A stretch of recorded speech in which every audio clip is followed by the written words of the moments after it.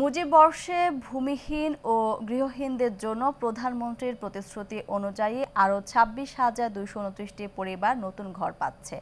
আগামীকাল ভিডিও কনফারেন্সের মাধ্যমে পাঁচটি আশ্রয়ণ প্রকল্পে যুক্ত হয়ে ঘরগুলো হস্তান্তর করবেন প্রধানমন্ত্রী শেখ হাসিনা। এদিন পঞ্চগড় ও মাগুরা জেলার সব উপজেলা সহ দেশের বাউন্নটি উপজেলা ভূমিহীন ও গৃহহীন মুক্ত হওয়ার ঘোষণা দেবেন প্রধানমন্ত্রী। সোমবার প্রধানমন্ত্রীর মুখ্য সচিব ডক্টর আহমদ কাইকাউস এক ব্রিফিংয়ে এ তথ্য জানায়।